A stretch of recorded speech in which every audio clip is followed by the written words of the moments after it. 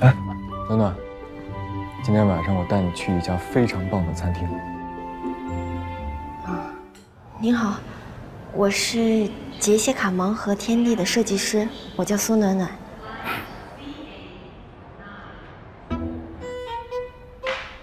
那我们开始。嗯，您现在是单身吗？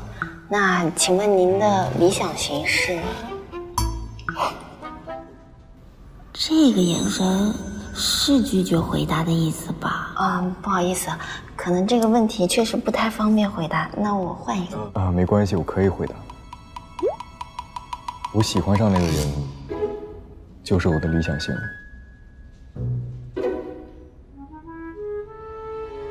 如果你有了心仪的另一半，你觉得在事业和爱情上会有什么冲突吗？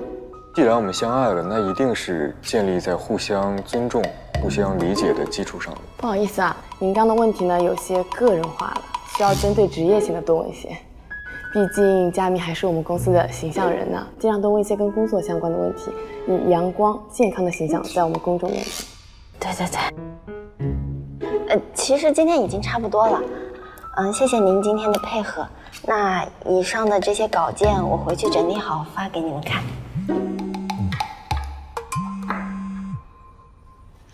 喂，我在。啊，对。那今天辛苦您了，我先走了。嗯。哎，刚才那个问题，是不是你想问的？啊，呃，实在对不起啊，那个提纲上的问题确实不太……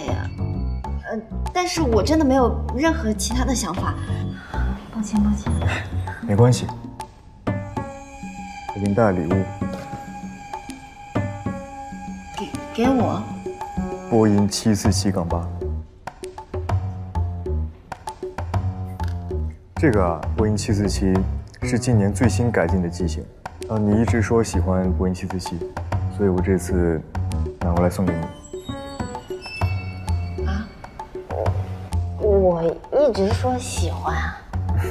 哎，暖暖，今天晚上我带你去一家非常棒的餐厅。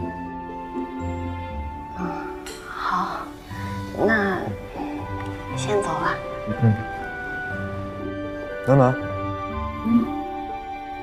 哎，礼物。谢谢。嗯。我的天，眼前的这位年轻帅气的机长，竟然是我的第二个盲盒男友。